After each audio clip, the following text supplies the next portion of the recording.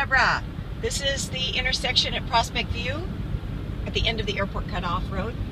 And I'm heading towards what could be your new home in Port Townsend. Nice talking with you this morning, by the way. Right up here is Llama. Somewhere. Ah, here we go.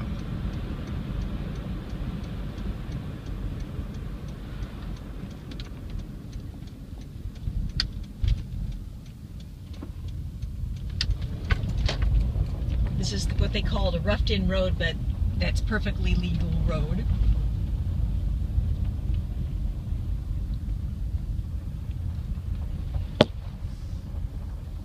Oh, there's a meandering little path. They've got. Uh, I'll call. I'll call Mr. Kleber. Come on, Ginger. Let me introduce you, Ginger. Jin Jin. Basu. Basu. Ba. Jin Jin. Say hi. Oh no, you got to stretch first. Okay, fine. Okay, this is the area. There's the road. There's some of the big trees.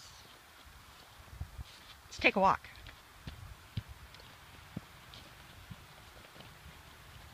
Sorry for the bouncy.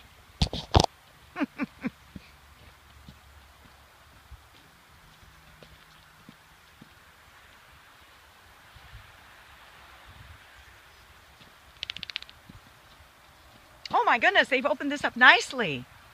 Oh, Deborah. Road noise. There's some road noise. Ah. Oh my goodness. What a sleeper. Five acres for 79000 I think that is a heck of a deal now.